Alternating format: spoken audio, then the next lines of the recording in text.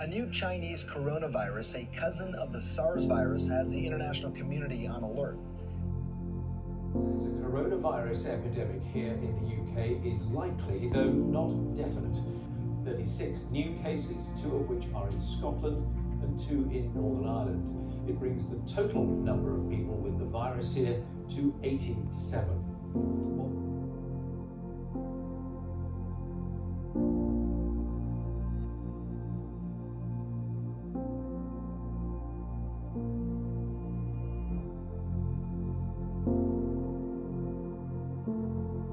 From this evening, I must give the British people a very simple instruction.